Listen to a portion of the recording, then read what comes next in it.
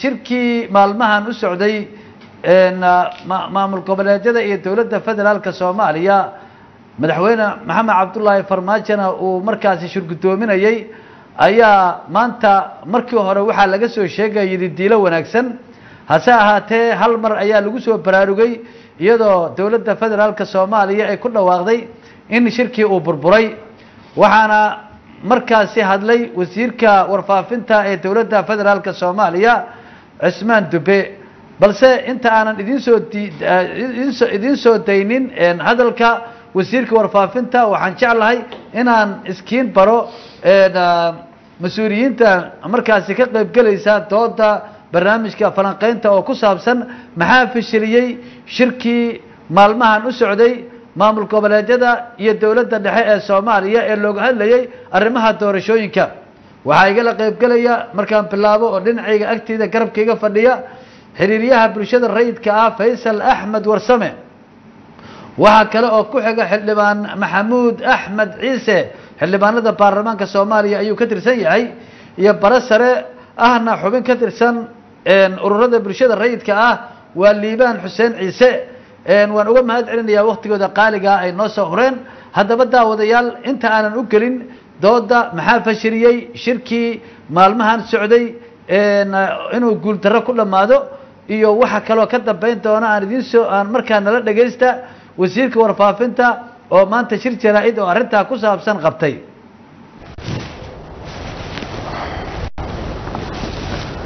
Bismi illaahi araxmaan araxiim sida alla wada socotaan. Sanadkii hore ee laba kun iyo labaatan bishii toddobaad waxaa soo bilaabmay doodii ku saabsanayd arrimaha doorashada qaranka ee laba kun iyo labaatan laba kun iyo labaatan iyo kow. Sida alla wada socotaan sidoo kale dowladda federaalka soomaaliya uu hogaaminayo madaxweynaha jamhuuriyaddu waxa ay dadaal dheer ugu jirtay sidii dalkani uu u aadi lahaa hal qof iyo hal qod iyo doorashada xisbiyada badan. Laakiin nasiib darro qaar ka mida maamul goboleedyadu waxa ay ku dhegeen oo ay joojiyeen. Hanaankii matalaadda shacabka hal qof iyo hal qod iyo curashadii koowaad ee xisbiyada badan. Oo ay rajadiisu markaa muuqatay. Waxaana dowladda lagu riixay in ay ka leexato jidkii qumanaa una janjeersato hanaanka doorashada dadban iyo matalaadda kooban. Xilligaas waxaa isu diiwaan geliyey hanaanka xisbiyada badan iyo ka qaybgalka doorasho dadweyne oo hal qof iyo hal qod ah in ka badan boqol xisbi guddiga doorashooyinka madaxa bannaanina. Waxay shaqada u wadeen si xilkasnimo ah oo ay ka muuqato howlkarnimo laakiin nasiib darro maamul goboleedyada puntland iyo jubbaland waxa ay diideen hanaanka xisbiyada badan iyo qabsoomidda doorasho hal qof iyo hal coda. Waxaanay ku adkaysteen in lagu laabto habraacyadii doorashada dadban ee laba kun iyo lix iyo toban nin faras dabadii ka degey meel uga toolman buu waayey. Markii dowladdu ku waafaqday si dalku uu doorasho uga dhacdo heshiiskii toddobiyo tobankii sebtembar si dalka doorasho wada golahay uga dhacdo. Waxayna sidoo kale maamul goboleedyadu dadaal badan ku bixiyeen in qaybaha kala duwan ee maamul goboleedyada kale iyo baarlamaanadu ay aanay waxba ka bedelan heshiiskaas ay ansixiyaan mar haddii la heshiiyo waa in loo hoggaansame eh dowladdu waxa ay ku khasbanaatay in la derdergeliyo fulinta heshiiskaas waxaana xukuumadda loo soo gudbiyey guddiyadii doorashada ee saddexda maamul goboleed ee hirshabeelle galmudug iyo koonfur galbeed. Sidoo kale xubnihii gobolka banaadir ka imanayey ee shanta xubnood ahaa guddidii maamul lahayd ayaa la soo gudbiyey. Sidoo kale guddiyadii doorashooyinka somalilan ayaa xukuumadda soo saartay sidii ku qorayd heshiiska toddobiyo tobankii sebtembar laakiin nasiib darro mar kale puntland iyo jubbaland waxay diideen inay soo magacaabaan guddiyadii doorashada sidii lagu heshiiyeyna. Waa ka baxeen mar kale si loo derdergeliyo fulinta heshiiskii toddobiyo tobankii sebtembar madaxweynaha jamhuuriyadda federaalk soomaaliya maxamed cabdilaahi farmaajo wuxuu isugu yeedhay kulamo badan oo isdaba laakiin madaxda jubbaland iyo puntland waa ka baaqsadeen kulamada marka laga reebo kii samareeb oo ay la yimaadeen shuruudo cusub. Ra'iisul wasaaraha jamhuuriyadda federaalk soomaaliya maxamed xuseen roble waxa uu booqday inta badan maamul goboleedyada dalka si doorashadu u bilaabanto. Laakiin nasiib daro mar kale puntland iyo jubbaland way diideen in doorashadu bilaabanto. Waxaanu kala soo noqday gacmo maran haddaba markii la sugayey labadaa maamul goboleed muddo lix bilooda oo intaasoo dhan lagu qancinayey fulinta heshiiskii ay saxeexeen ee toddobiyo tobankii sebtembar. Markii la isugu tegey magaalooyinka garowe samareeb baydhabo iyo muqdisho si isfahan looga gaaro qabsoomidda doorashada. Markii ay maamuladaasi dureen ciidamada qalabka sida ee habeen iyo maalin difaaca ugu jira dalkooda sababta ay u dureenna ay keeni karto in dalka ay ka dhacdo marka la duro ciidamada qalabka sida sharci daro iyo amni daro markii maamul goboleedyada puntland iyo jubbaland ay tid iyo jihadiid noqdeen si loo fuliyo heshiiskii ay iyagu soo qorteen ee loo ansixiyey dalkuna uu doorasho waado. Markii madaxweynaha jamhuuriyaddu uu in ka badan shan jeer gogol u dhigay maamul goboleedyada doorashada diidka ah taas oo uu kula baxay magaca tanaasul badane markii wax kasta oo ay codsadeen loogu ogolaaday isfahamkii baydhabo ee shan iyo tobankii ilaa lix iyo tobankii febraayo si doorasho u dhacdo. Laakiin mar kale ay puntland iyo jubbaland diideen fulinta isafgaradkii ay ku soo saxeexeen baydhabo. Markii ergo madaxweynuhu u diray madaxda jubbaland iyo puntland kana koobnayd madaxweynayaasha maamul goboleedyada koonfur galbeed galmudug iyo hirshabeelle ay kala soo laabteen mar kale gacmo maran iyo natiijo la'aan. Markii ilaa sabtidii saddexdii abril la wada fadhiyey xerada afisyooni si loo derdergeliyo fulinta heshiisyadii toddobiyo tobankii sebtembar iyo lix iyo tobankii febraayo ee baydhabo oo ay ka soo qayb galeen waa markii koowaade madaxweynayaasha jubbaland iyo puntland ay keeneen caqabado cusub oo ay kow ka tahay inay duraan baarlamaanka oo ah sharciyadda dalka ugu sarraysa oo yidhaahdaan wakhtigiisu waa dhammaaday iyadoo aynu ognahay low number tety ama xeerka soddonaad uu si cad u sheegayo hay'adaha dastuurigaahi shaqada way sii wadayaan ilaa ay bedelaan hay'ada dastuuriga oo kale. Inta la soo dooranayo hay'adaha cusub. Iyadoo waxaa soo dhami jiraan ayay baarlamaankii dureen oo ay awoodu ma laha xeerar cusub ee meesha ha laga saaro. Madaxweynuhu awoodda ha wareejiyo xukuumaddu yay shaqo qabanin ciidamada hogaamadooda ha la kala diro. Inagoo og dagaalka ay ku jiraan ciidamadu habeen iyo maalin shuruudaha cusub. Waxay kaloo keeneen in ajanabigu ay shirarkeena ka soo qayb galaan oo ay talada wax ku yeeshaan. Waxa ay kaloo sheegeen in siyaasiyiinta madaxa bannaani ay shirka yimaadaan oo ay iyaguna go'aamada gaadhaan iyagoo aan siyaasiyiinta madaxa bannaani haysan mandate sharciyeed oo ay shirarka ku iman karaan. Waa tahay daawadayaasha qiimaha iyo qadarinta mudan oo waxaad daawanayseen wasiirka warfaafinta ee dowladda federaalka soomaaliya cismaan dube oo hadlay kadib markii shirkii lagu kala tegey isla markaana sida uu sheegay uu eedda dusha ka saaray dowlad goboleedyada jubbaland iyo puntland oo uu yidhi iyaga ayaa shirkii laga wadi waaye hase ahaatee dhinaca kale ilaa hadda wax hadal ah lagama hayo laakiin sida muuqata waxyaabaha la isku hayay waxaa ugu badnaa arrinta amniga doorashada iyo arrinta warqaddii madaxweynaha laga doonayey in uu qoro haddii uu musharax yahay iyo arrinta kale oo ku saabsaneyd qaabka ka qaybgalka beesha caalamka ee goobjoog inay ka noqoto. Haddaba daawadayaal qodobadaasi inta badan waa labadii shir oo hore qodobadii xataa la isku diidana ayay ahaayeen. Haddaba falanqaynta ayaan u gudagelayaa faysal oo xiriiryaha ururada bulshada rayidka ayaan weydiinayaa. Faysal wasiirka waa dhegaysanay laakiin wasiirku ma aanu soo bandhigin qodobkaasay jebiyeen iyo qodobkaasay jebiyeen iyo qodobkaasay jebiyeen. Hadda hadalkiisa maba aanan ka maqlin laakiin waxaan u baahannahay bal inaad ka hadasho aragtidaada waxa guuldarrada shirka ku keeni kara. Aad iyo aad baa mahadsantaha xasan iyo hon cable cable. Runtii wax arrin aad u naxdin badan oo aan fiicnayn hadalkaas dhawaaqaas wasiirka uu hadlay wasiirka hadalkiisa waa laga qurux badnaa. Waxaa fiicnayd in arrintaas maalin iyo laba la siiyo wada hadlaan ayaga awel la fadhiyey muddo bil ku dhawaa meesha la fadhiyey. In taas dhacdo saaka waa la faraxsanaa niidsamo baa jirtay. Saacad ka hor dadka dhan waxaan isugu hambaliyen laisugu duceynay in heshiis jiro in wanaag jiro in khilaaf isan jirin. Arrinkaas arrin aad eh, maanta looga naxay buu ahaa. Runtana waxaa ka qurux badnayd in ayagu ay dib isugu noqdaan hoos wada hadlaan arrinta laysoo dhoweeyo wixii laysku diidan waa la xallin karaa wax walba. In arrinka saas la yeelahayd si kasta ha noqoto ha dhacdo kolleyta ma hayna dhinaca kale warkooda oo maysan hadlin. Laakiin haddana wasiirku ma sheegin qodobada laysku qabtay oo kow iyo laba iyo saddex nooma sheegin ama khilaafka keenay oo laysku diidan nooma sheegin. Marka runtii waxaan is leeyahay waa intii uun awalba doodu taagneed saa u sheegtay.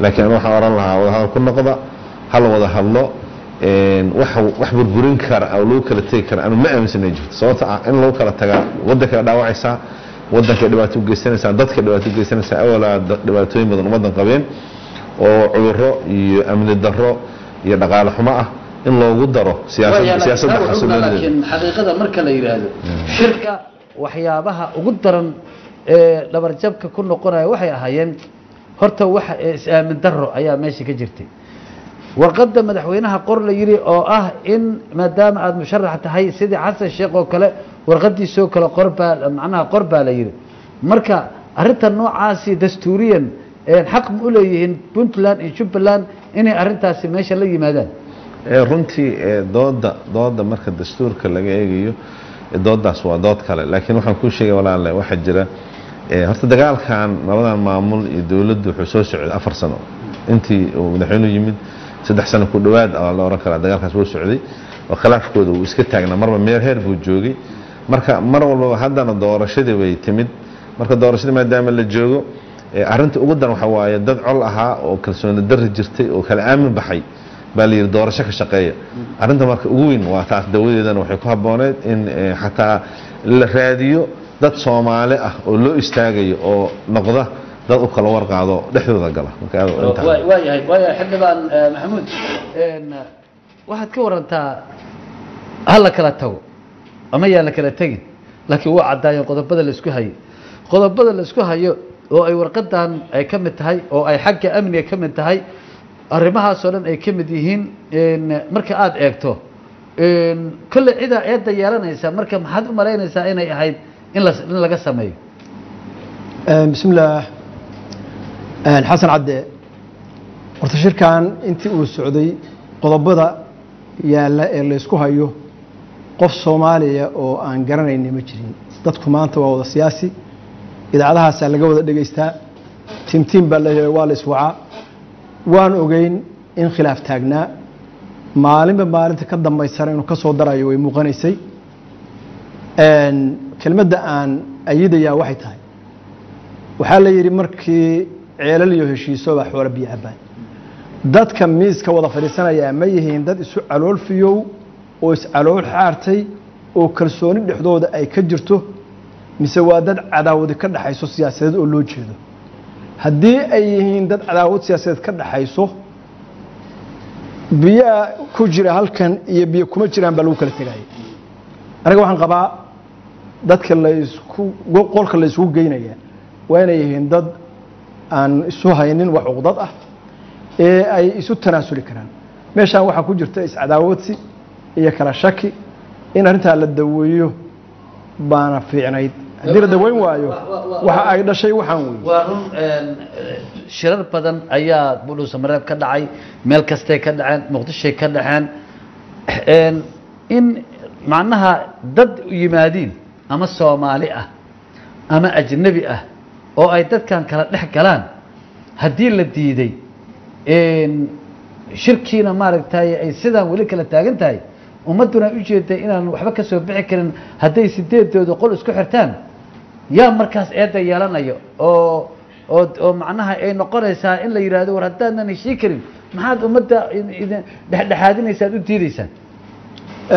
Ummadda soomaaliyeed waxaan rabaa maanta halkan inaan uga caddayo kelmad aada hadda tiri xasano oo anigu aanaad u nabcahay baa jirta. Waxaa la yidhahdo beesha caalamka. Halkaa waxayna dhigay waxa la yidhahdo beel caalam. Xitaa waxaynu gaaray inaynu caqiidadii ka tagno markii roob la'aana ku dhacdo aan iyaga u cabanno. Beesha caalamka in badan oo ka mid ah waa dadka faragelinta ina ku haya. Ee dhabarka ka taabanaya ninka siyaasiga oranaya adigaa habboon iyo adigaa fiican. Kii kalena oranaya adigaa fiican. Rabana inay ka dhex faa'iidaystaan. Aniga waxaan is leeyahay waxaan dib ugu laabanayaa markii aanu ka shaqaynaynay doorashada tooska ah annagoo doorasho toosa ka shaqaynayna oo xisbiyada sharcigoodii wadna. Yaa beesha caalamku nimanka lagu sheegay xalna fadhiya twitter waxay ku soo tuurayeen doorasho hal dhinaca yeeli mayno aqbali mayno. War dowladdii dhexaanu nahay dhinac maahin waa la oran waayey. Marka beesha caalamku waxay og tahay khayraadka iyo waxa dhulkan ku jira. Dadkan aan fekerayna way heleen. In laysku in laysku baabi'iyo. beesha waxaan raacayaa adiga ayaa waxaad tiri beesha caalamku inay dhex beesha caalamku waxaan rabaa waa soo socotaa arrinta beesha caalamka. Ka hor dhici mayno laakiin waxaan rabaa yaa dhexdhexaadinaya haddii ay intay isu yimaadeen ay intaas heshii waayeen yay tahay maadaama xildhibaan baarlamaan ka tirsan war dadkii soo soomaalida lama dhihi jirin war dadku ma heshiin karaane rag dhex gala ha loo diro soo lama dhihi jirin yaa dhex galaya. Waxa halkay ha soomaali markay dhex taallo waxaanu leenahay culamaa udiin baynu leenahay. Waxaanu leenahay dad akhyaara oo siyaasadda aan danaynayn oon xildhibaan rabin oo aan wasiir rabin oo madaxweyne rabin. Aniga waxaan qabaa dadka ahlu xalka ah inay maanta ku filan yihiin arrimaha soomaaliya. Haddii loo daayo. Laakiin aawey beel caalam baa iska soo dalaq dalaq dalaq leh oo isku gubaysa. Hanjabaad bay habeen dhowad keeneen. Soomaali baan kuu sheegaya looma hanjabo soomaali. Waxaanana qoorqabad biyo kuma cabbaan. Khasab inaad ku heshiisaan waa laydin ciqaabayaa soomaalida waxa waa ka dhirta waxaan qabaa anigu eedda waxaan u jeedinayaa nimankan xalana ku xeraysan ee aan xishoonayn ayaan eedda u jeedinaya waa mahadsantahay xildhibaan doctor liibaan waxaa muuqata waxaa macnaha soomaalidu waxay tidhahdaa nabar aad filaysa naxdin ma lahay tidhahdaa soomaalidu mar walbaba niyaddeeda waxaa ku jirtay sida muuqata raggan keligood meeshaan fadhiyaa ma heshiin karaan. Qodobada ay isku hayaanna qodobo adag inay yihiin waa la ogyahay. Marka waxaan u baahannahay shacbiga soomaaliyeed annagoo aqoon aqoon-yahanadii iyo xildhibaanadii iyo mas'uuliyiintii aad tihiin inaan maanta ballan u ifino meesha wax ka socolla ay yihiin seed u aragtaa xaggee wax ka dhutinaya marxan waxay la tahay sida akhyaartu tilmaameenba. Runaantii aad baan oga naxnay khabarkan shirkii waa burbure la leeyahay. Anna waxaan is leeyahay waa waa la kala carooday way jirtaa. Laakiin burbur inaanan weli la gaarin oo intii hadda yani sabtidii ayay hadda bilaabeen inay wada fadhiistaan intii ka horreysa waa loo kala dabqaadayay un marka sabti iyo maanto arbaca ah waa burburay in la yidhaahdo xoogaa. Aad bay mataqaanaa dhagaha soomaalida u dhibaysaa. Waxaan is leeyahay arrintaas yani inay u baahan tahay in weli maxaa la yidhahda dulqaad oo dheeraada la muujiyo dowladda federaalka iyo xubnaha labadaba. Dhinacan kale aad tilmaamayso sidee la yeelayaa iyo maxaa bulshada kala gudboon horta waa sidaa tilmaamtayoo marka horeba markii heshiiskan la diiday ee ahaa qof iyo cod oo la yidhi doorasho dadban baa la aadayaa nidaamkii lagu aadayeyna iyaga ayaa soo dejiyey. Sideeddaa qofaa soo dejiyey. Kolkay soo dejiyeenna waxay ku qoreen haddii wix allaale inay iyagu marjac u yihiin. Hadday arrin yar la isku khilaafo garsoorkii meesha way ka saareen oday dhaqameed iyo culummo iyo dad kale inuu dhex galana way ka saareen. Meeshaas kaannamaa yani inaysan iskhilaafaynin oo kale ayay ka dhigeen. Marka arintiina waad aragteen hadda meesha ay jirto. Waxaana la yidhaahdaa yani intaysan col iyo dhib jirin baa la xeeraystaa. Xeeraysigii doorashadii kii sharciga ahaana waa la diiday. Kana xeeraysi hadday wax ka yimaado maxaa exit strategy ah lama degsan. Marka iyagiina waxay u baahdeen hadda in loo kala dab qaado taasaa marka waxaa keenay soomaalidii iyo dadkii mar walbaba dhexgeli jiray iyo odadhaqameedyadii iyo isimadii iyo malaaqiyadii iyo wixiina meel bay iska dhigeen. Marka in beesha caalamka inay qayb ka noqoto oo markaa iyadoo ka faa'iidaysanaysa garab istaagay dowladda garab taagan tahay iyo saamaynta ay ku leedahay ayaa bilowda ani marka waxay la tahay meeshaan marka la joogo inay u baahan tahay in bulshada caalamkana dib u fakarto soomaaliduna aysan ku daynin masiirka ummadda dhan inaysan ku daynin sideed qof inaysan ku daynin. Sax sideed institutionay matalayaan laakiin waxay noqonaysaa in soomaalida iyo arintan siday ku xalin lahayd in tallaabo loo qaado hay'adaha dastuuriga oo dhanna ay mataqaanaa ay u baahan tahay qadiyadatan heer laga wada qayb run laakiin qodobada miiska saarana waxay yihiin qoladan oo odhanaysa annagu amniga doorashada in madaxweynaha ay ka wareegto wa oo ra'iisul wasaaraha loo wareejiyo. Madaxweynuhu waa inuu warqad qoraa.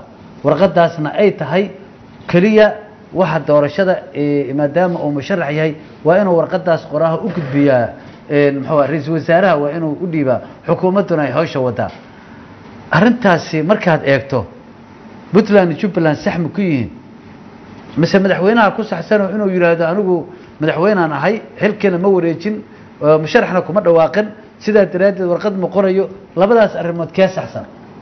Run ahaantii qadiyadan ishugan oo ah amniga iyo warqadanba waxay soo baxeen hadda dhowaan.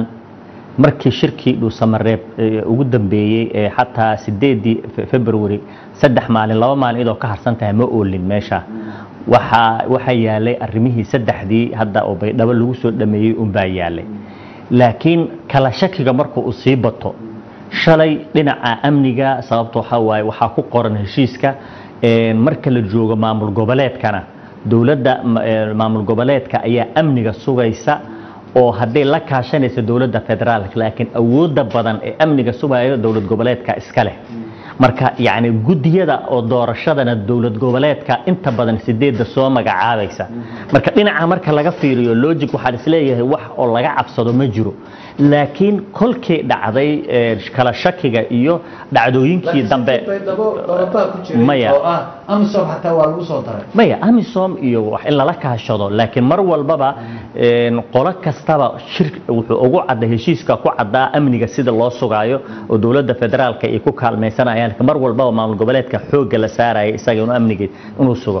Laakiin waxaad moodaa dhacdooyinkii dhacay maxaa la yidhaahdaa sagaal iyo tobankii febraayo iyo mudaharaadyadii iyo wixii ka dhacay yani ayay hadda maamul goboleedyadan ku tilmaamayaan labadan maamul goboleed inay cabsi cusub soo rogtay. Marka ee loo baahan yahay marka xagga amniga in laga wada hadlo. Marka amniga ha laga wada hadle dhinacyo waa la isugu imaan karaa oo waxaa la odhan karaa war amniga awalba waad sugi jireen idinkaa sugaya dowladda federaalka doorkeeda muxuu noqonayaa waxyaalo laga hadli karo. Laakiin waxay ila tahay mar walbaba tanaasul unbaa asal ah. Laakiin mar walbaba shuruudaha cusub iyo waxyaalahan dib si u sii ridaya dhibaatay waxay u keenaysaa masiirka ummadda. Ani marka waxay ila xasan sheekh sida la sheegay warqad buu qoray ayaguna waxay ku doodeen maamul goboleedyada kale waxay leeyihiin warqadii xasan sheekh uu qoray oo kalaa loo baahan yahay ma ku saxsan yihiin waa ku qaldan yihiin? Warqadda ee, waxaa weeye in een, in sida caadiga warqadda sideedaba waxay sheegtaa in eh, wax kaalin cusub uusan keeni karin. Macnaha jago cusub inuusan madaxweynaha soo darinaynin jago hore u jirtay ama maxaa la boos qaanuuni hore u jiray inaan la baabi'in. Ee laakiin hawshii caadiga ahaa la wado. Laakiin hadda anaga hadda tafaasiil ma ogin taas aniga waxay ila tahay waxa weeye inaanan hadda yani agaasimay waxyaalo cusub inaan la magacaabin in safiiro cusub aan la magacaabin in magaciisi la sameeyo oo marxaladan kala guurka la sugo oo mataqaanaa iyay tahay. Laakiin arintaa waxaa moodaa inay ka guda weyn tahay oo aysan intaa keliya ahayn waagii xasan sheekh mideeda ahayd intaa unbay ahayd. Laakiin hadda waxaa dhici karta inay eh, arrin in ka weyn inay tahay. Mataqaana ayaa dhici karta marka ma ogin ilaa ay xaqiiqda aan ogaano unbaana ila tahay. Faysal sida muuqata een, arrintan dadka soomaaliyeed soomaaliya la mid ma ahan wadamo badan. Waa xor waa la ogyahay laakiin sida muuqata weli een, ciidamadii amisom ayaa waardiyeynaya hay'adihii dowladda waardiyeynayaan international community ku dhex jira. Safiirka jooga halkan waxaa moodaa inuu sida u shaqeeyo safiirada kale si ka duwan mandate ka duwan inuu haysto ayaad moodaa. Marka een, ma u malaynaysaa arrintan socota ee la isku khilaafay inay beesha caalamku ka maarmi karaan? Inay soo dhex gasho oo faragelin soo geliso? Runtii dooda beesha caalamka laga hadlayo. Horta annaga waxaa nagu dhacay arrin aada u dhib badan een, ishaysadkan iyo duruufo hadda taagan anoo xildhibaanka ixtiraamaya waxaa jira eh, dad soomaali ah oo u kaca laba shay baa baa lagu waayey mid waa midda liibaan doctor liibaan sheegay oo ah sharciga doorashada waxay ku qorteen heshiiska doorashada oo ahaa waxaa la wixii khilaaf dhacaa in marjac iyagu noqonayo cidna loo tegin. Maxkamadna la aadin dadna aysan iman karin. Labana waxaa weeyaan eh, runta inaan su sheegnaa fiican. Dadka soomaaliya dhammaan khaanaday kala galeen nimanba meel kooxu ku jira. Garbaa la noqday. Qof maanta soo istaagi kara oo dadkan odhan kara waa yaryahay dadkii waaweynaa oo maanta ma hayno. Aawo culammadii aawo ganacsatadii aawo dadkii mihnadaha lahaa ama dadka aqoonta lahaa. Qole u fadwoonaysaa qolba qole u fudoonaysaa taas waa ayaan darada taagan dee beesha caalamka marka meel uga fakanaysid ma walaba. Ayaga mogtahay deeqda ugu ballaar waddankan siiya waxa lagu socdo ayaga miisaaniyadda ayaga kaba amniga ayaga qaybta ugu weyn gacanta ku haya ama ciidamo tababaran ama dhaqaalaha ku bixiyaan ama hay'ada meelihii dowladda iyo institutionada ha hayaan marka runtii waxaan qabaa laba shayba inaynu isku garab wadno. Dadka soomaaliyeed dadka macnaha le oo qiimaha le oo khaanada aan ku jirin kuwa ku jira inay ka soo baxaan oo ka toobad keenaan kuwa kale oo ku bannaanka taaganna oo macnaha le inay istaagaan inta aan dhibku unagu Hadda- badan hadda oo waxaan dhibaysa noqon khilaafku badan. Maya hadda waxaan ognahay. Runta marka la isu sheego nimankaanu isdiidan oo aan is- isu imaan karin dadka isu geeya inay beesha caalamka tahay. Oo beesha caalamku markii golaha ammaanka iyo kulli ay hadleen la yidhi eh, macnaha qoloba loo wacay. Dowladdana ay u waceen een, maamul goboleedyadana u waceen ayay isugu tageen. Marka beesha caalamka sidee looga maarmi karaa ay kula tahay?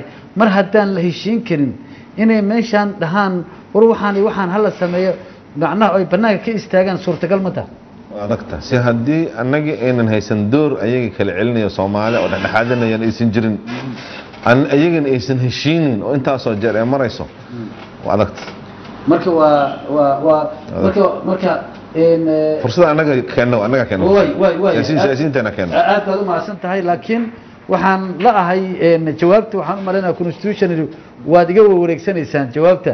Diiwaan iyo adiga iyo kulle constitutionally waxa la isku hayo waa run amnigii wey laakiin waxa maanta lagu kala tegi karaahay.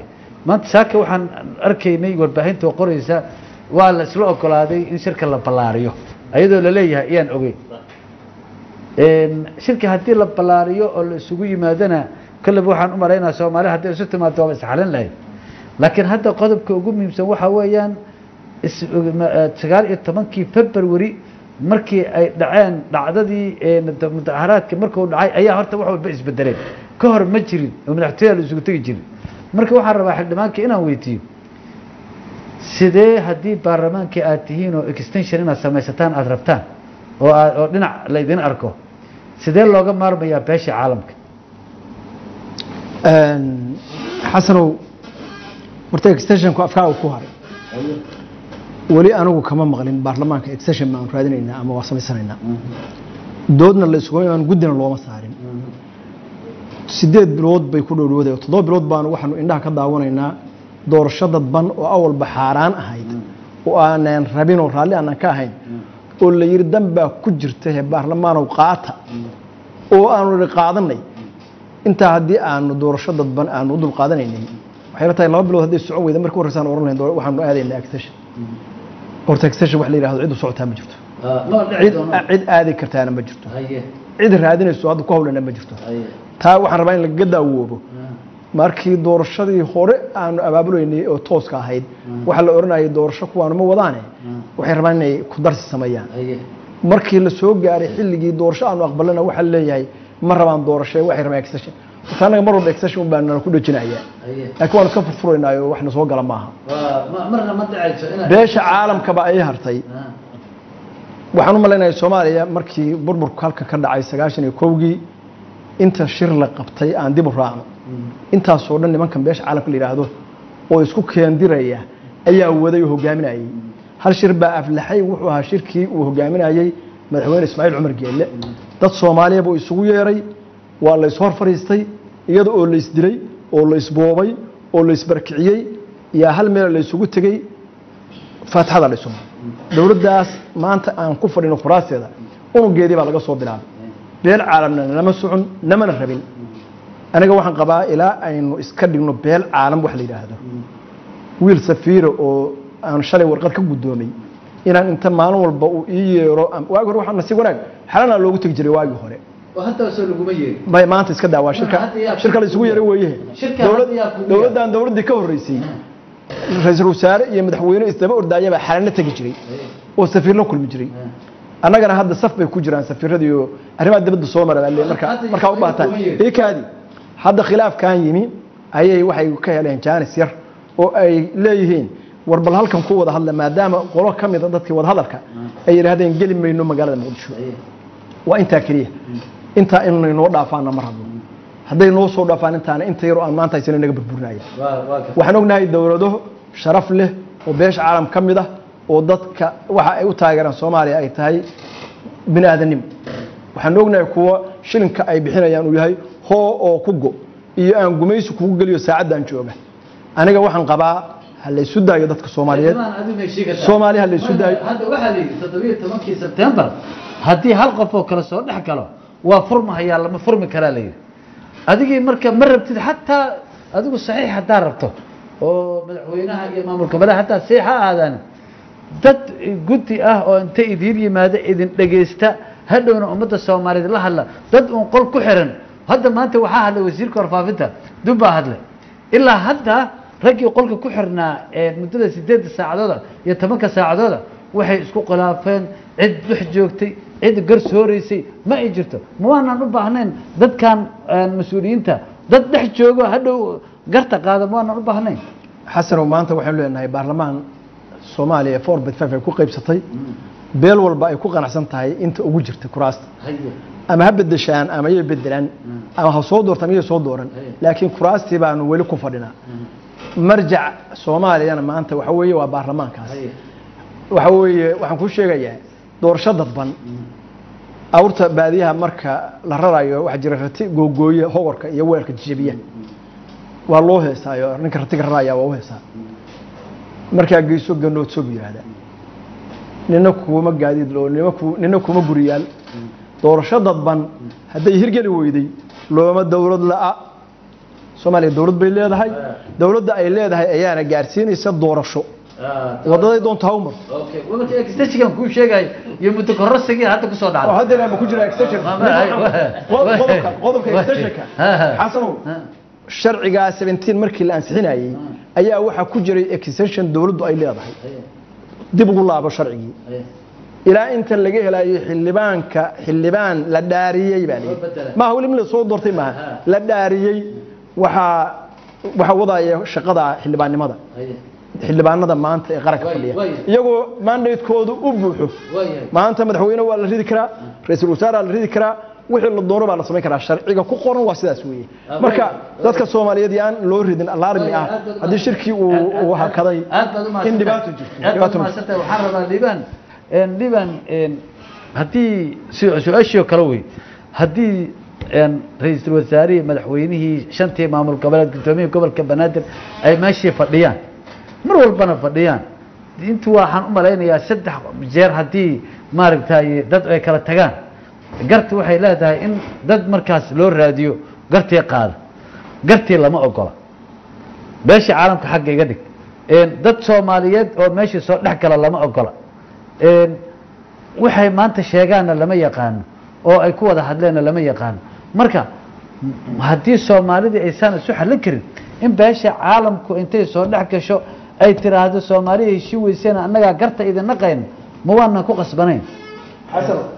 Maya suganta horta maya intaad oranayso beesha caalamku inay guddi u diraan maxaad u diiday inaad tirahdo baarlamaanku inay guddi u saaraan odayaala odayaal baa ka buuxa baarlamaanka jaran ah siyaasiyiin sare ah wasiir la soo maray dad siyaasiyiin badana waxay aaminsan yihiin siyaasiyiin badana waxay aaminsan yihiin in baarlamaanka soomaaliya waxa meeshaan dhiga dadka inuu yahay oo hadduu go'aan qaadanayo mar hore inuu go- go'aan qaata la rabay haye liban waxaan waxaan is leeyahay beesha caalamka su'aashaad iga weydiisay waxaa weeye sinaba hadda ogama marna Een, haddaad maqasho dowlad ayaa wakiil ergey qaramada midoobay ayaa u jooga haddaad maqasho.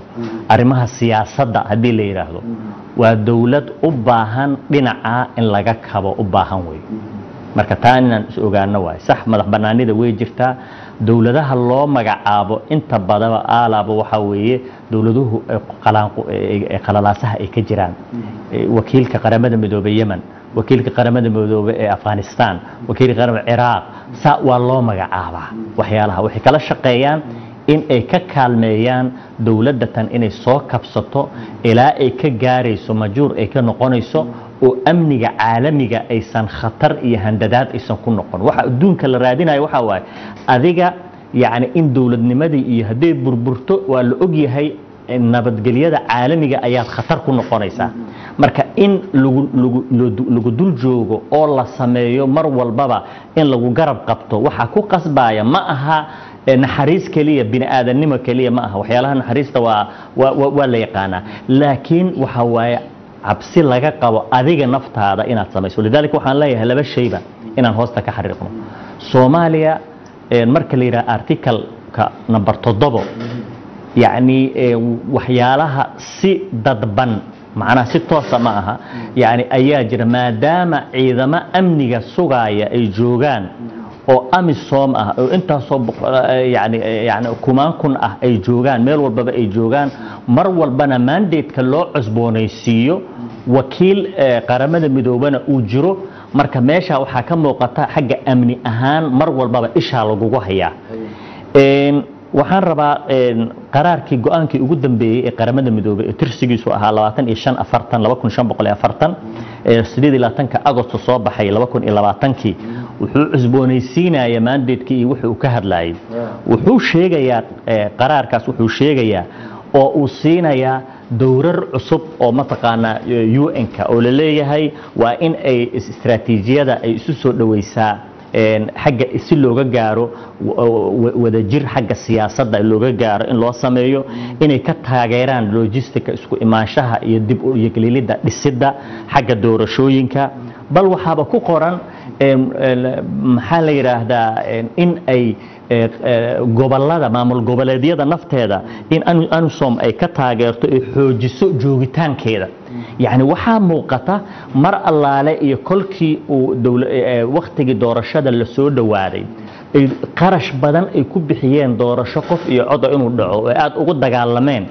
Soomaalidu ay diiday. Sababtay doontaba ha ahaato tirahda anaga ma geli karno cabsi waxaa soo fuulay caalamka armay yani arintii ay kala fakataa. Markaasaa la soo saaray qaraarkan la leeyahay taageero. Walidaalika waxa keenaya hadda inay wakiiladu hadlaan inuu yamamaata hadlo waxyaalahan waxaa qaraarkan oo adduunka ayaa yaalla in la garab istaago oo la sameeyo ayaa yaalla marka beesha caalamka maya wax saamayn bay leeyihiin. Taa marka laga tago saamaynta dhaqaale ee la ogyahay bajetka ha noqoto amniga ha noqoto maanta hadday yani labaatanka soddonka kun oo mataqaanaa ciidamada hadday ka tagaan soomaaliya waan ka baxaynaa waxaa waxaa imaanaya waddankii isku dhex yaacaya waxaa imaanaya dowladaha dariska iyo caalamka naftooda amnigooda siduu noqonayaa baa la leeyahay marka waxaan is leeyahay sinaba hadda waktigan la joogo yani anaga iska daaya faragelin waxa dowladihii waaweynaa ayaa hadda faragelin lagu hayaa. Iiraan waad aragtay mataqaanaa qabatayn lagu hayaa. Ruushka ayaa la leeyahay faragelin ee, armenia mataqaana maxaad u malaysaa dowlad oo iyadoo hadda marka faragelinta way jiraysaa laakiin kullamaa waxay aad u yaraanaysaa faragelinta markaad adigu iswaafaqdo. Waa waxa la raadinaya in la iswaafaqo. Marka an anaga inaan xoogga saarno sidee la isku waafaqi lahaa? Ajnebiga kanna aan dhinac isaga dhigi lahayn sida hadda xildhibaanka uu sheegayo waxay imaan kartaa marka annaga aan iswaafaqno markaan annaga iswaafaqno. Taasaa aad baad mahadsan tahay. Mar haddii aanay jirin adduunka waxaa jira moogtahay dad wax ka dhiibiya oo shacab ah. Ayaa jira. Oo maanta markay arkaan sidaan hadda ay u socoto dad ka dhiidhiyo ama ama banaanbaxyo sameeya ama ku soo codkooda ku soo bandhigo istaageersan. Arrintaasi hadda ma muuqato. Waxaana run ah in shanta maamul goboleed iyo dowladda iyo macnaha in ay maanta awooddii gacanta ugu jirto. Cid kaloo soo dhex geli kartana inaysan muuqanin. Marka waxaan leeyahay faysal aan siinayaa faysal qorshihii koowaad waa uu dhacay oo ahaa ayagoona sarki karin in la isu keeno qorshe kale hadda haddii la kala tago. Oo maantay dowladdiina ay ku dhawaaqday tiri nimankaana jihadiyada ay tiri.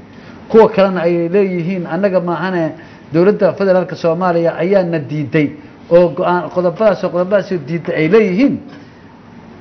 Ma sidan baa lagu joogayaa oo baarlamaankii in la yidhaha extension aad dadkii dagaal uu dhaco miyaa lagu joogayaa? Mise waxaa lagu mise waxay noqonaysaa in go'aan iyo mowqif kale uu yimaado ama caalamka ha ka yimaado ama meel kale ha ka yimaado waan ka xumahay xildhibaanka hadda wuxuu yidhi haddii dowladdu eh, wax la waayo wadda jeexaya baarlamaanku jeexaya oo u muuqata extension. Extension meelama habboona wax suurtagalana uma eka. Sababta ah waxa weeyaan dalkan doorashada waa doorasho heshiis ku ahaa. Afartii sano mar inay dhacdo.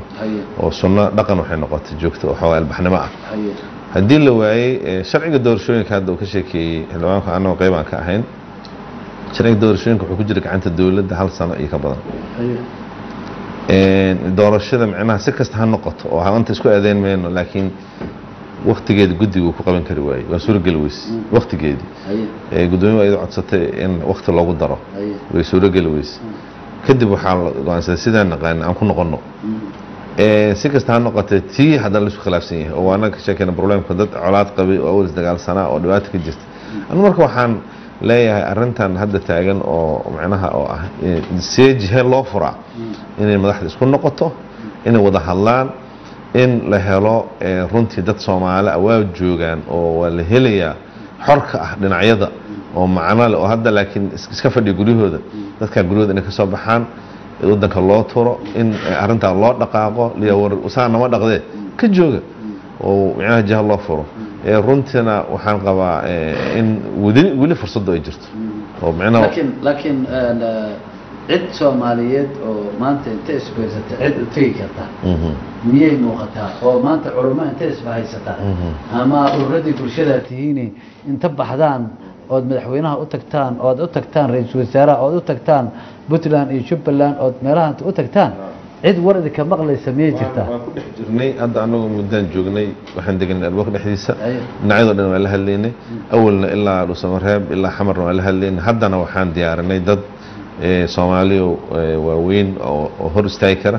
Insha allah waxaan isleenahay dadkaas inaan abaabul baan wadna shalay iyo doraadba inaan madaxdii soomaaliyed hor istaagno oo dhahno arrinkaas ka jooga ha kala tegina maaragtay waa la diray iyo lama heshiinayna macquul ma aha.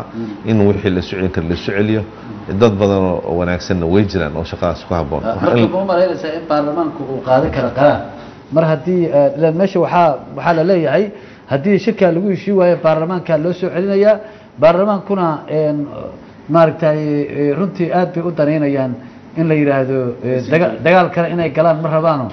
Waxay iska rabaan xoogaa haddii la yidhaahdo extension lugya gacan waaba taagi doonaan marka marka ma umalaynaysaa in arrintaasu timaado anigu waxaan is leeyahay arrinkaas suurtagal ma aha. Waxaa ka fiican in madaxaas aan ku noqono iyagu heshiiyaan. Arrinkaasna wuxuu sii keenayaa arrinta sii fogaata iyo dhaawac kaloo noo geysanaya iyo taladoo sii baahda xildhibaan maadaama aad adigu ku dhegan tahay waddanku baarlamaan uu leeyahay een, eh, isagaana go'aan gaarhaya maxaad macno u malaynaysaa ma ma haddii laydinku soo celiyo xalku soo maahan inaad tiraahdiin een, een, een, laba sano doorasho extensiona oo hal qof hal cod lagu gaarayo ayaan samaynaynaa maahan wax kale miyaa la dhihi karaa?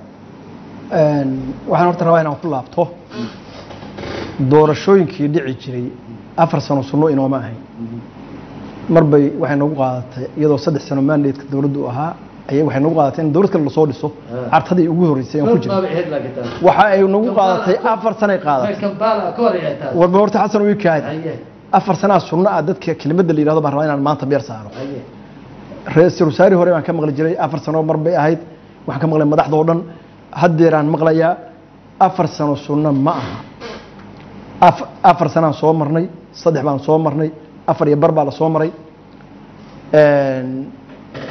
taas waxaan rabaa in laga daawoobo doorashadu kolba wakti way dhacaysaa ama bila ha raacaan ama sanada ha raacaan.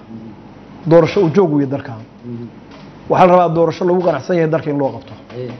Dalkuna inuu baarlamaan leeyahay xasan ood umada fiirsan tahay. Waa adiga subax walba kaamirada sii watay. Aniga hay weydiine waad aaminsan tahay waan aaminsanahay dalku doorasho wuxuu leeyahay ba- baarlamaanka. Baarlamaanka dalku uu leeyahay. Hadday maanta inta fadhiistaan anuu ka hordhici maayo waxay odhanayaan mana garan karo waxay odhanayaan adigu laakiin waxbaa jeebka kugu jiro kala soo baxaysaa laba sano unbaa halkaa jeebkaa kugu jirta. Xasan oo labada sano adigaa horta wada. Laakiin baarlamaanku waa ku filan yahay inuu soomaaliya go'aan u gaaro. Waana gaaraya. Inaanu hadda guddi bixino inaanu hadda guddi bixino oo aanu dhinacyadaba u tagno oo isu soo celinno Ah. oo ilaahay nagu duwo inaanu isu keennuna waa suurtagal. Miyaanuna ku dayay marna oo naloo daayay? Waayo. Jaanisba uma aanu heli soo maa xildhibaan soo ceeb ma noqonayso. Ee mas'uuliyiintii soomaaliyeedna soo ceeb kuma noqonayso.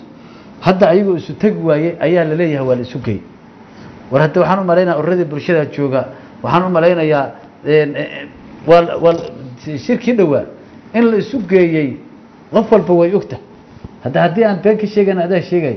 In marna la isu kaaga geeyo. Marna waxna loo yeeriyo. Soo ceeb naguma noqonayso. Haddaan wadi weyno xasan. Xasan caddow horta isu geynta le dad baa la isu geeyey. Anigu marnaba dad in la isu geeyey ma aaminsani. Madaxweynuhu shir buu casumaad buu sameeyey. Casumaadii uu sameeyey dhowr goor bay baaqatay. Markii u dambeysay waa lagu guulaystay. Oo waa yimaadeen gobolladii maqnaa. Teendhadaa xalina baa shirkii laga furay dhowr beri baa la geli waayey. Haddana way soo galeen nimankii odayaasha ahay oo markaa diidanaa teendhada. La isu yimi oo la wada fariisay. Maantana la kala tegi. Berina waa la isu imaanaya. Waa kaa ikhtiyaar baa la isugu imaanayaa akhyaartaana kacaysa urshada burreedka baarlamaanka ha kacaya culamaa udiinka ha kacaya kacaya tijaarteenna dad baa maanta ilaahay soomaaliya siiyey. Wayna isku filan tahay soomaalidu maanta. Waayahay doctor reban halka mar haddii la kala tegey ee, muxuu noqon karayaa halku inkastoo niyad jab tahay oo sida muuqata maantay waad ognaho markaan stuudiyaha soo galnay intaanaan barnaamijka soo gelin waana faraxsanayna waxaan dhehaynay war shirkii in wax ka soo baxaana laga yaabaa farxad baan dareemayna laakiin mar baa hal mar dhow waxaa noo soo yidhi wasiirkii warfaafinta oo dhahaya jid iyo jahadidkiyaa diiday shirkii marka maxaad u malaynaysaa inay xigi doonto arrintan? Bismillah farxaan anigu waxay la tahay laba laba arrimood baa xigaysa. Waa mid yacni horta bulshadii soomaaliyeed sida xildhibaanka iyo uu tilmaamayaba waa in waxay ku qasban tahay inay is-abaabulaan awal waxaad moodaa sideeddaa qof oo kale iyo xataa institutionadii hangool baa lagu hayay. Baarlamaankii hangool baa lagu hayay garsoorkii hangool baa lagu hayay. Waxaa leeyahay annagaa meesha dhammaynaysa noo daaya. Waa loo asixiyo waa loo daayay waa heshiin waaye. Marka ani waxay la tahay extension iyo waxaaba ma iyadoon la aadin. Waxaa waaye in ay rool qaataan oo baarlamaanku uu rool uu qaato oo waxyaalaha la qaato sidee wax mataqaanaa lagu samayn lahaa. Roolkaasoo ah see lagu cadaadin lahaa ujeeddada laakiin marna aniga ma arko in aan la aado meel kale oo aanan ahayn heshiiskaas. Beesha caalamka sidoo kalena bulshada rayidka culummada dadkii oo dhan aqoon-yahanka waa inay xaggaas bresharka ay saaraan. Waxaa kale oo bresharna aan marnaba aanan ka aamusaynin eh, bulshada caalamka. Leanna waxaa weeye inta hadda ay joogaan mar horey kala tegi lahaayeen madaxweynihii raba ama qofkii dhaqaaqaba ha dhaqaaqin joog baa la lahaa. Marka cadaadis wuu jiray. Caalamka oo dhanna mataqaan intii hadda uu shirka socday xataa un-ka madaxda ugu sarreysa way la soo hadlaayeen madaxda waa lala soo hadlaaya marka ani hadda ma filaayo arrintaas way dhammaatay waa dhammaatay. Haye bes beesha caalamkana alaabteeday laabanaysaa ma aha. Waxaa waa leey waa inaad heshiisaan wax un aad soo saartaan. Sababta waxaa weeye haddayn hadda aan heshiin oo sidaa lagu kala tago laba laba miday noqonaysaa. Haddii kolka la heshiiyo aa laysu imaado oo qolo caqabad noqoto oo la yidhaahdo waa yani iyaga caqabad ku ah loo aqoonsado. Waa inay ku qancaan laba dariiq. Mujtamaci bulshadii asaaska oo soomaalidu waa inay qancaan labo bulshada caalamkana waa inay ogaadaan caqabada inuu yahay yani hebel ama hebel iyo uu noqdo ha noqdo dhinaca federaalka ama ha noqdo maamul goboleedka wuxuu doono markaas waxaa dhici karta bulshada caalamka inay aadayaan wax la yidhaahdo cuquubad ama yani cunaqabatayn oo xagga safarka xagga baabugo waxyaalaha marka marka waxyaalaha ay aad eh, bulshada caalamka ku cadaadin kara waaye Eh, laakiin waxay ku xiran tahay waxa asaasa eh, xubnaha beesha caalamka adinkaa la kulmay. Toddobaadkii horena kulankiinii inaad dhowr mar la kulanteen waa maqlay. Haddii la kala tago ma jiraa arrin golaha ammaanka uu isku raacsan yahay oo ah in ciddii shirkan ama diidda ama loo arko in ay arrintan ka soo horjeedo in go'aan laga qaato oo golaha ammaanka qorshe noocaasa dhinaciisa ma idinkaga sheegeen qolada beesha caalamka beesha caalamku iyagu inta inta badan yani heshiiskan waxay hal hal mid bay heshiis ku yihiin. In shirka kan uu najaxo oo wax loo wada dhan yahay oo hal qolo aan wadatana aan la ogolaan oo aanan hadda broseskan gadaal aan loo celin oo toddobiyo tobanka sebtembar inuu asal ahaado way isku raacsan yihiin. Laakiin marka laga baxo arintaas markii arintaa laga baxo maxaa ka imaanaya? Way ku kala aragti duwan yihiin. Waxaa jira wadamo qaarkood oo odhanayo war arintan soomaaliya waxay leedahay dowlad waxay leedahay instituushano iyaga un ha loo daayo hadday iyagu isburburiyeen annaga ilaa ay wax handadaad caalamka ku noqonayaan hal shay aan samayn karnaa. In aan dhaqaalaheena ka reeban. Haddaba hay'adihii caalamiga ahaa ee dhiibi jiray dhaqaalaha kabka iyo kulli waxba waa la joojiyey. Miisaaniyaddii la kabi jiray wixii. Marka waxyaalo fara badan waxaa dhici karta mataqaana inay yidhahdaan intaasaan fiirinaynaa iyagaan isku daynaynaa bal waa eegaynaa. Waa dad odhanaya iyo kuwa odhanaya maye waa inaan qadiyadan wadankan waxaa u jira waxaa jira instituushano qaarkood ayaa ka maqan ee wax hagi lahaa sababtoo hadda waxaa ka maqan maxkamadda dastuuriga waxyaalahabaa maqan. Marka hataa dood waxaa jirta oo odhanaysa aqoon-yahan badan ay ku doodayaan markii soomaaliya lagu wareejina lalahaa dowlad fuul baa laga dhigay kumid gaarnimada waa laga baxay. Qaar baa odhanaya waa lagu degdegay. Ma aha yani markii lagu degdegaa in yani ajnabi jacayl ma aha. Waxaa la leeyahay waxbaa ka maqnaa. Marka instituushannadii kolkay dhammaystirmaan oo iyagu isxalliyaan ayay ahayd in la yidhaahdo waa kaa hadda waa laga baxay baa la yidhi dad qaar waxay ku tilmaamayaan arrimo dhaqaalaha ku jiray oo waxaa laga rabay shidaal iyo waxyaalo fara badan soomaaliya dowladnimadeeda inay hore u baxdo waa la rabay. Marka si blokis iyo waxyaalo badan loo sameeyo. Marka dad baa u celinaya inay taa tahay. Marka hadda ilaa iyo hadda dhibka wuxuu taagan yahay bulshada caalamka ma ku midaysna? Marka la fiiriyo hadda waxaa fuleexantiisa ma mooge in macnaha dowladaha dariska ama dowladaha qaarkood ay gadaal siyaasiyiinta qaarkood ka riixayaanna waa jiraan kuwa qaarkood dhinac kale dhinac kastaba dhinac kale lagu tuhmaya marka maadaama ay jiraan isku hal doon ma saarna. Laakiin hal bay heshiis ku yihiin soomaaliya waa dowlad madax bannaan. Waa kow. Labo in ay xalliyaan oo mataqaanaa heshiiskii toddobiyo tobanka ay wada sameeyaan. Aan la ogolaanin heshiis parallel ah aan la ogolaanin. Oo yani in la isku qasbo in la sameeyo intaa keliya. Laakiin maxaa aragti la imaan karaa? Waxay ku xiran tahay dowladaha hadda weliba iyadoo golaha amniga lagu wada siman yahay. Aad arkaysaa dowladaha qaarkood sida maraykanka iyo waxa ay rabaan. Mararka qaarkood waxbay waxbay socodsiistaan. Haddaba waxaad arkaysaa dadka dowladaha qaarkood baa nagnag leh oo ka yani dheereeya bulshada kale caalamka kale ka dheereeya waxaa dhici karta iyaga hadda maraykanka mararka qaarkood wuxuu soo saaraa cuquubad ama cunaqabatayn aan la qabin caalamka kale aysan la qabin marka tiisana markii dambe hadda iiraan waxbuu saaray iiraan waa cabaadaysaa leanna hadday tiraahdo shirkadii wax la heshiisa ama la samaysa cuqabatayn siinaysa qolo kasta way dhaafaysa iyadoonasan majlis amniga soo saarin golaha amnigana ma soo saarin. Wamaca dalik waa awoodda iyo nufuudka. marka dowladaha hadda waaweyna saasoo kale ayaa dhici karta. Marka hadda waxaan caddayn maxay qaadan doonaan say kala noqon doonaan ma cadda. Laakiin waxaasoo dhan annaga haddaan soomaali nahay boqolkiiba boqol waxaan ku raacsanahay inaan doorkeena qaadano oo aanan meesha isdhigin ile lax meeshay dhigato ayaa lagu gowracaa warbixintii ugu horreysa oo international community ka soo baxday oo aan akrinayna ayaa waxaa cajiib ahayd. Dadka waa dad aan muslim ahayn badankoodu. Haddana waxa ay yidhaahdeen war adinkoo ixtiraamaya bisha barakeysan ee ramadaan adinkoo dadkeenna ixtiraamaya. War adinkoo maaragtay bishaan oo dadku ay isu isxaanfalaan isu dulqaataan waxaan rabnaa inaad hadiyad uga dhigtaan inaad heshiisaan. Sidaasay yidhahdeen marka horta in nin aan diintii islaamka aaminsanayn oo xataa ramadaankii kuu soo maro iyo diintaadii kuu soo maro adiguna aada fahmi weysid horta waa mid aada iyo aada u dhib badan. Marka waxaan leeyahay faysalo waxaan ku weydiinayaa waa soo gebagabaynaynaa barnaamijka insha allahu tacaala. Macnaha waa lasti waxaan u malaynayaa fursaddii ugu dambeysay ayay maanta ahayd. Oo qof kastoo soomaali ah saak maantay waxay leedahay ma dagaal ma dagaal baa loo loo jihaysan doonaa ma baarlamaanka extension qaadan doona ma beesha caalamka dadkan spoilers iyo cunaqabatayn macnaha saari doonta ayaa la leeyahay. Ma garatay? Marka eh,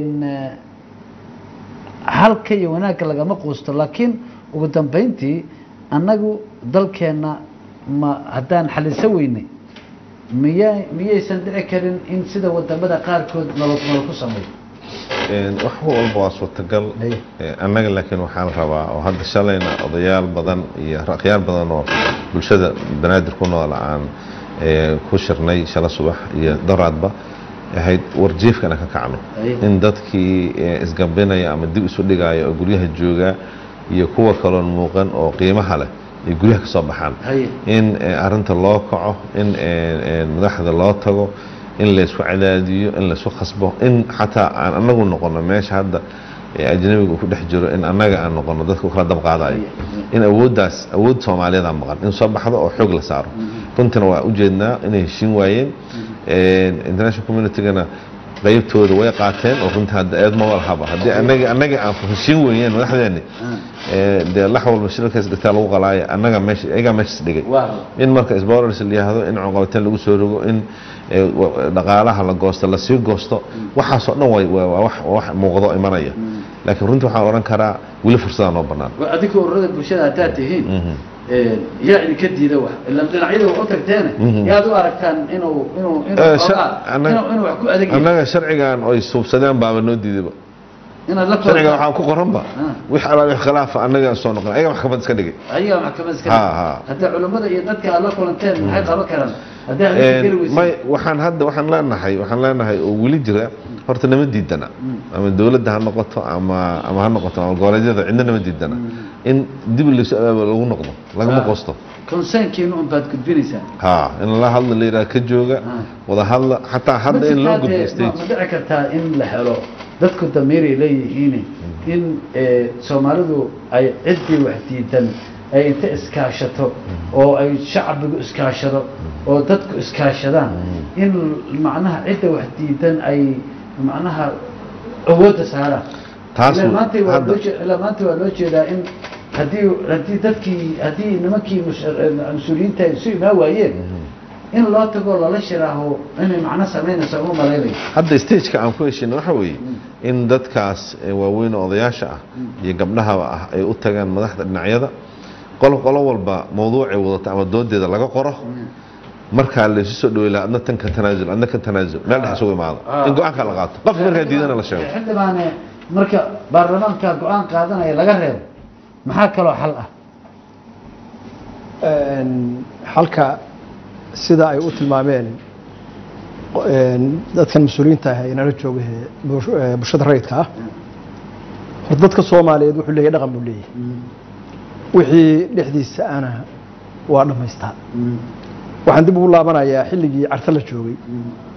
Markay arrinu istaagto oo beelaha qaybtooda laga maaro waayo xitaa marka u dambaysa gabdhaha xallin jiray. Gabdho soomaaliyeed intay israacaan oo ay hor fadhiistaan beesha wax diideen ayay ohan jireen xagga uma soconno xaggan uma soconno. Albaabkaasaanu fadhiisanaynaa. Nin soomaaliya oo diidi karaa ma jiro. Wuu hoggaansamaya anigu waxaan leeyahay dadaalkii soomaaliya uu ku dhammayn lahayd arrimahan hal maalin nalooma ogolaan. Bulshada rayidkaabaan loo ogolaan baarlamaankaan loo ogolaan culamaa diinkaan loo ogolaan ganacsataan loo ogolaan.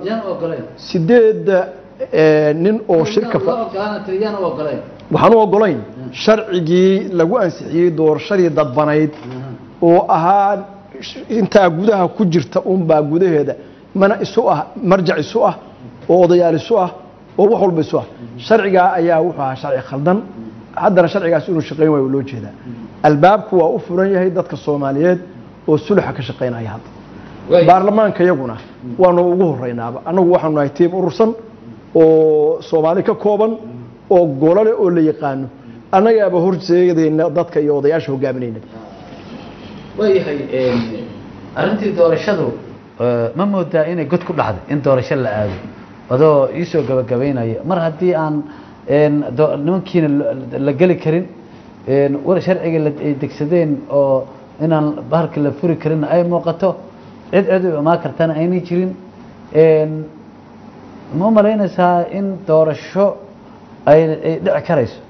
Waxay la tahay doorasho la'aan wadankan ma ahaan karo yacni qolana yani doorasho la'aan sii joogi karta ma jiro hadda hay'adahan dastuuriga waktigoodu dhammaaday waxa ay loo siiyey oo la yidhi inta ay ay wax ka samaynayaan in la joogo laakiin wakti ma xadidna laakiin waa in waktiga ugu degdega badan ha noqoto bil labo sad- saddex waxa ugu degdeg badan in lagu sameeyo taas waa tan heshiiskan hadda looga gal lahaa marka bulshada soomaaliyeedna ma aqbalayso doorasho la'aan caalamkana ma aqbalayo.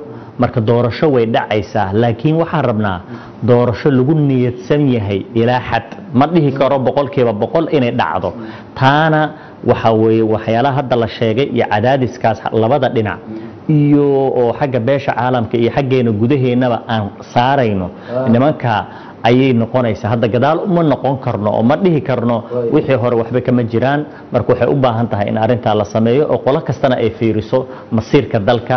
Taariikh ayaa qormaysa maanta. Taariikh madow baa qormaysa ama taariikh oo wanaagsan ayuu qofka ka tegi karaa. Leanna doorasho waa la geli doonaa laakiin magac wanaagsan inuu qofka ka taga ayaa fiican dhammaan mas'uuliyiinta sidaasaan ugu yeeri lahay waayahay aad baad umahadsan tihiin sharaf iyo qadarin ayay ii tahay inaad barnaamijkii maanta aad igala qayb gashaan shirkii oo fashil ku dhammaaday macnaha wasiirkii warfaafinta oo sheegay in shirkii oo fashilmay eedayna u jeediyey puntland iyo jubbaland oo yidhi ayaa ka dambeeya. Puntland iyo jubbaland oo ayagoo qudhooda u arka inay markaasi dowladdu aan dhinaceeda ay ka socon weysay u arka marka waa la seed eedeeyey waxa xigana waan arki doonaa haddii allah wadi la ogolaado. Haddii ilaahay isu soo dumo oo ay mar kale inay soo arkaan masiirka bisha barakeysan ee ramadaan ee nagu soo fooda leh oo cibaadada iyo ummaddu taqwada ay gelayso maaragtay haddii fadligeeda wax lagu helayo waa u ducaynaynaa soo ma in ilaahay subxaana watacaala dadka oo ka ay kamaanaan rajay dhigin ilaahay baan ka baryaynaa inuu in- inay noqdaan ummaddan dhibtoon in ay inta isu timaado hogaamiyeyaashii xalin lahaa inay noqdaan. Waxaa igala qayb galay barnaamijka oo aan aad iyo aad ugu mahad celinaya xiriiryaha bulshada rayidka ah faysal axmed warsame waxaan kaloo aad ugu mahad celinayaa xildhibaan maxamuud axmed ciise runsheek. Ah, hey wakaas. Maanta run waa sheegay soo maha waayay waxaa bara sare oo isaguna maaragtay aqoon-yahan sare ah ah, markaasna ururada bulshada rayidkana ka tirsan waa liibaan xuseen ciise ayaan u mahad celinayaa waktigooda qaaliga ah. Eh, sidoo kale cabdiraxmaan cumar cabdulle kameramaanka eh, sida fiican wax noogu kala hagayey iyo waxaan u mahad celinayaa cabdiraxiin xuseen xasan caylaawe shariifka iyo bashiir bocor oo isaguna magaalada london naga hagaya. Tan iyo kulanti dambe sidaa iyo nabadgelyo. Wasalaamu calaykum waraxmat ullahi wabarakaatu ogeysiis muhiim ah. Waxaa la ogeysiinayaa dhammaan dadweynaha ku nool gobolka banaadir iyo nawaaxigeeda in doctor cali macow aweys oo ku takhasusay cudurrada guud gaar ahaan uurku jirta xanuunada dumarka iyo neerfaha. Uu mar kale dib ugu soo laabtay xaruntiisa caafimaad ee magaalada muqdisho ee international hospital and general clinic. Daktarka ayaa howlihiisa caafimaad waxa uu ka wadaa xaruntiisa caafimaad ee ku taala dhabarka dambe ee wasaaradda boostada iyo isgaarsiinta. Ummadda soomaaliyeed meel kasta ay degan tahayba adduunka dacladeeda khaasatan reer muqdisho iyo gobollada dalka oo aan hadda dib ugu soo noqday alxamdulilah ilaahay dib buu noogu soo celiyey magaalada dib aan soo noqonay dad badan oo noo baahan dad aad u fara badan oo noo baahan alxamdulilah ilaahay gacanteeda dawa ha ku daro ummadaas ilaahay gacanteeda dawa ha ugu daro wax kala dhihi mayno. Ilaahay hadduu dawa soo dejiyo dawada ilaah haya caafimaadkana ilaah